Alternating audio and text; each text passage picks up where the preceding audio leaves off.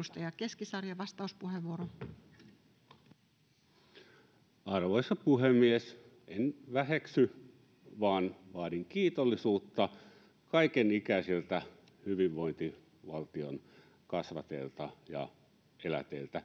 Edelleenkään en edustajien Koskela ja Honkasalo puheenvuoroista saanut selvää, missä suhteessa meidän aikamme, meidän hallituksemme 2024 on poikkeuksellisen kitsas. Siis olivatko nuorison etuisuudet runsaammat vuonna 1994, olivatko nuorison etuisuudet runsaammat vuonna 1984 vai 54 tai jopa 1884? Ja onko etuus ainoa malja, joka kannattaa tyhjentää nuoruuden riemuissa?